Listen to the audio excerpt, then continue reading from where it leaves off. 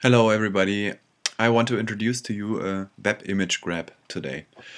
Web image grab is an automation for the Google image search. So, you know, when you look for images on Google, for example, flower, you get the thumbnails of the images and then you have to click, click, and then drag it to your hard drive. So this is a very uh, complicated process, especially if you are downloading images on a daily basis. It it's impossible to do this all the time. So I wrote a little tool. It's called Web Image Grab. You just download it from my web page.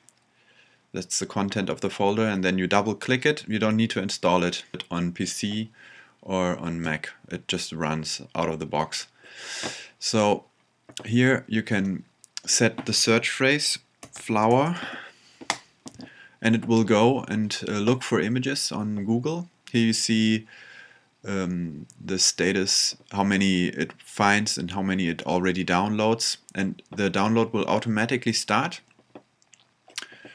And in the web image grab folder that I showed you before, there's a new folder, it's called flowers and there are all the high res images directly downloaded from the websites. You also have a little, um, if I stop this now,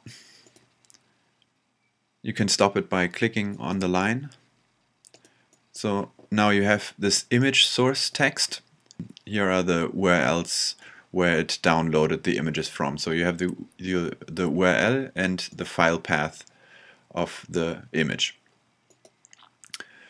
You can set all kinds of things. For example, a download limit. Um, you can set the image size.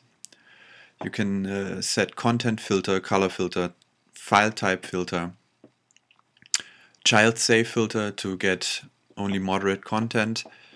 Um, so a very special thing about this is uh, you can here set the input language to English. With the translation list, you can set languages the search phrase will be translated to, for example, Chinese, um, Hindi, Finnish, and German.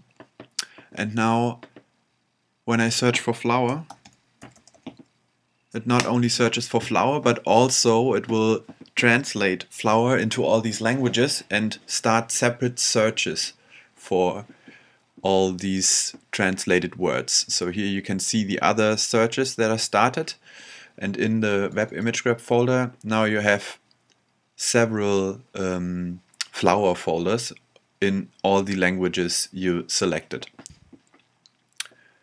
Chinese flowers, Finnish flowers and German flowers. okay, another thing which is pretty handy. So we can make a new text file with a flower red flower girl flower power